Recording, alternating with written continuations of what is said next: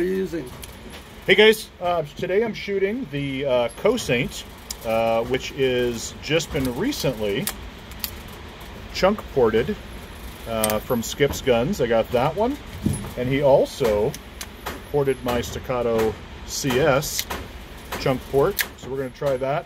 I'm using both of them. I'm going to use uh, 147 grain Super Vel, so you guys can get an idea what that looks like and feels like on the recoil. So let me load that up. I used the wrong ammo here, so bear with me.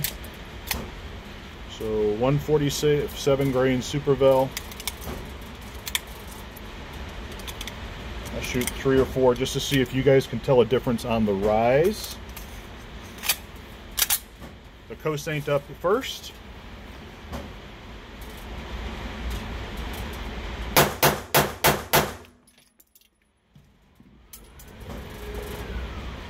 That's pretty flat. Now let's try the Staccato CS.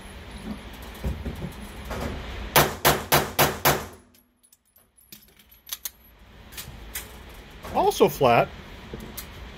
For me shooting it, I feel like this is a flatter gun, um, only because it's just a little heavier, and so I think it it does handle a little better.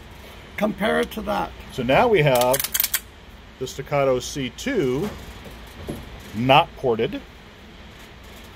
I need a mag, Super Vel. I'll shoot five out of that. Let's see how that one goes.